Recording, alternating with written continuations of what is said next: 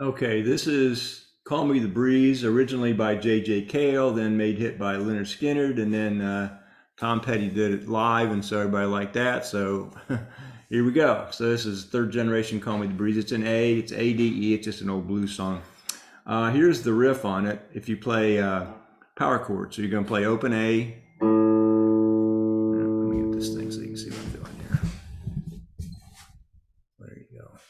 Okay, so you're playing open A and um, uh, D2. Is that your power chord? And you're going to play that with an up pick. So you're going to play the D2 first, then the A. You're going to play two of those. And then you're going to go down pick on uh, down pick, and you're going to play same thing, open A, but you're going to play D4, D5, D4. So, so it goes this way.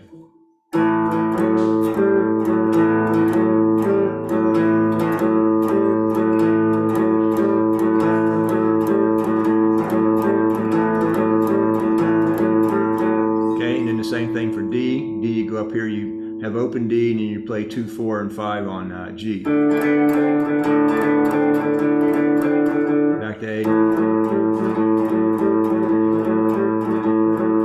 Then for E, you do the same thing, open E, and then you play A, two, four, and five. Back to D.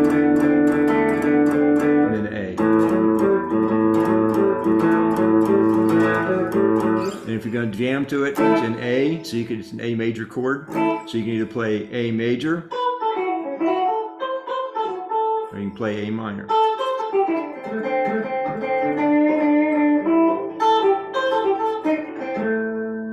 So either one you can jam to, or you can mix it up. You can mix A minor and A major. Okay. All right. Pretty simple song. Let's have uh, Tom and the boys play it. Benmont Tench has an outstanding uh, piano solo in this. So here we go. See, let's do one for. 嗯。